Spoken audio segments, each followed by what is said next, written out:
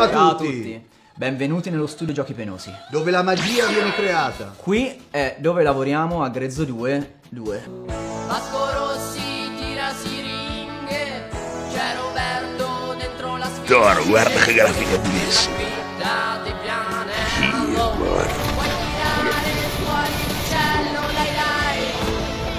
Dai. Grezzo 22 è il nostro ultimo gioco. È uno sparatutto ispirato ai classici del passato. Come Doom, Duke Nukem, Quake. Ma anche Postal, visto che è un gioco molto controverso e violento. Giochi come questo non esistono più e infatti noi cerchiamo di riportarli in auge. Giochi Penosi è una software house indipendente attiva dal 2012. Abbiamo sviluppato due giochi, Grezzo 2 e Superbot e Bamba 2 Turbo. I nostri videogiochi sono destinati ad un pubblico adulto, estremamente offensivi e politicamente scorretti. Questo nostro marchio di fabbrica ce l'abbiamo sin dal nostro primo gioco, Grezzo 2, definito da alcuni il gioco più violento e controverso mai creato. We're playing Grezzo 2. It's famous for being the most offensive game ever. Grezzo 2 che non è un gioco, è tutto ciò che di più sbagliato ci possa essere. I have a heavy religious background, and I'm playing this game, and it's just like, wow. Chi l'ha detto che i giochi meravigliosi non vengono fatti in Italia? Superbot e Bamba 2 Turbo è un picchiaduro anch'esso ispirato ai classici degli anni 90, come Street Fighter o Mortal Kombat, solo che i personaggi che puoi utilizzare sono solo ed esclusivamente personaggi della TV italiana. Il nome stesso fa capire come questo gioco sia una presa per il culo di quel mondo lì e mantiene il nostro stile eccessivo e mega violento dei nostri giochi. Grezzo 2.2 è il sequel di Grezzo 2, ne condivide le tematiche, ma abbiamo approfondito altri aspetti. Non ci siamo rifatti necessariamente allo stesso tipo di satira che abbiamo utilizzato nel gioco precedente. Abbiamo attinto molto meno alla cultura pop o alla cultura dei meme su internet. ma anche alla stessa politica italiana e alla situazione attuale.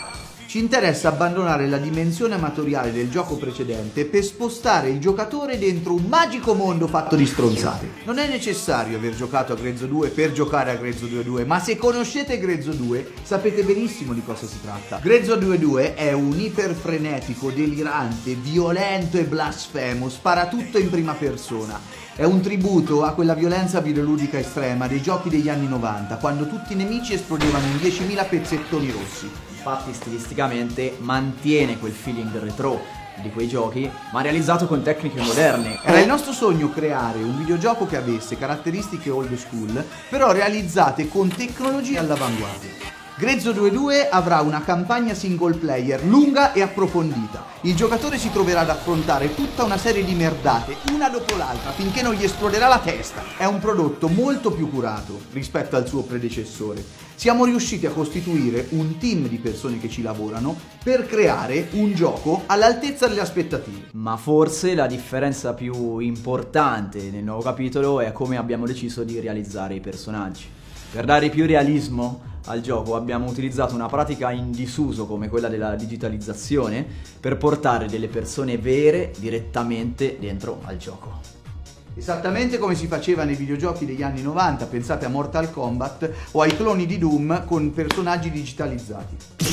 Allora, gamba destra avanti, gamba sinistra leggermente più indietro, ma sulla punta. Ok, guarda dritto davanti a te, posa, perfetto così, è ottimo. Per ottenere animazioni più fotorealistiche possibili abbiamo bisogno di fare foto da 8 angolazioni diverse, perché ogni angolazione corrisponde ad una direzione nel gioco. Ed ecco come lo facciamo. Questa pedana l'abbiamo realizzata ispirandoci a Rise of the Triad ed è lo stesso metodo che utilizzavano negli anni 90 per ottenere sprites di personaggi digitalizzati, quindi reali. Girandola in questo modo possiamo ottenere le 8 angolazioni di cui parlavamo.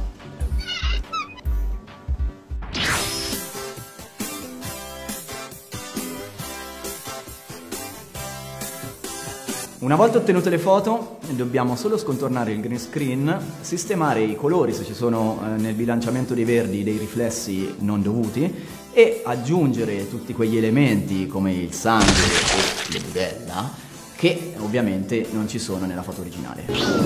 Utilizzare foto di persone reali in alta definizione ci consente di ottenere più dettagli e di mantenere lo stesso feeling retro che altrimenti non avremo con i modelli 3D. A differenza dei nostri personaggi che sono realizzati con sprite digitalizzati, le armi del gioco sono tutte in 3D. Abbiamo utilizzato dei modelli tridimensionali con pochi poligoni, ma con delle texture ad alta definizione che consentono anche di riflettere le luci dinamiche presenti all'interno del gioco con le PBR. Questo mix tra modelli tridimensionali e sprite bidimensionali non è stato usato molto spesso all'interno di Sparatutto in prima persona, ma noi ce ne siamo fregati e sbattuti il cazzo. Avere un bravo level designer dedicato ci ha consentito di sbizzarrirci nella creazione di mappe sempre più complesse e articolate. Un altro fattore importante è il fatto che abbiamo raccolto le texture direttamente sul campo, andando a fotografare dei luoghi realmente esistenti e digitalizzando quelle foto per trasformarle in texture ad alta risoluzione che sono andate a coprire i monumenti del gioco. Uno dei livelli principali del gioco è basato sulla nostra città, Perugia. Ci è bastato scendere di casa, fare delle foto ai monumenti e alle facciate dei palazzi e poi montarle su una mappa del catasto con scale e dimensioni reali. Bisogna dire che questo studio semiprofessionale in cui ci troviamo non si è mi- miracolosamente generato dal nulla. Siamo stati noi che con numerosi tentativi, molti dei quali falliti, siamo riusciti ad ottenere un ambiente in cui lavorare come volevamo. Siamo partiti facendo foto con il cellulare a casa mia e poi col tempo abbiamo trovato nuovi spazi, attrezzature sempre più costose, nuove persone che collaboravano con noi e finalmente siamo finiti qui dentro. Non è stato uno scherzo, ma grazie alla nostra passione e determinazione siamo riusciti a superare tutta una serie di ostacoli che abbiamo avuto nel nostro cammino. Ma non è ancora finito. Perché la campagna Kickstarter? Perché vi chiediamo dei soldi? I nostri giochi precedenti erano tutti gratuiti. Nel momento in cui siamo andati a realizzare Grezzo 2.2 abbiamo capito che avevamo bisogno di un budget. reclutare nuovi attori, sostenere un team sempre eh, più ampio e comprare magari nuova attrezzatura. Tipo questa. E soprattutto videogiochi così politicamente scorretti, così anarchici e offensivi non esisteranno più. Di conseguenza l'unico modo per realizzarli è affidarci a una campagna di raccolta fondi. L'obiettivo che abbiamo fissato su Kickstarter è molto basso. È quello che ritenevamo fosse il minimo indispensabile almeno per finire il lavoro e portare a termine il gioco. Qualsiasi tipo di contributo per noi è un grandissimo aiuto e anzi vi ringraziamo già da subito, Grazie mille per tutto quello che avete donato finora. ma ovviamente dovete sapere che più donerete e più regali avrete. Ci siamo impegnati per quello che riguarda le ricompense delle vostre donazioni. Se donerete un centinaio d'euro, 250 euro, riuscirete a diventare dei personaggi di Grezzo 2.2. Quando cazzo vi ricapita di diventare un personaggio di Grezzo 2.2? Oppure quello che ci avete chiesto sempre tutti, la copia iscatolata, fica, vecchio stile del gioco, la maglietta esclusiva del gioco. Il tuo nome è scritto in pelle umana sui credits del gioco. Con i lanciarazzinger nelle mani Beh, penso non ci sia altro da aggiungere. Lasciamo la parola al vero narratore del gioco, la voce del protagonista di Grezzo 2. Porca madonna. Freghi, non vi dico niente. Mano al portafoglio e cacciati i quadrini. Se no venga a cercare casa.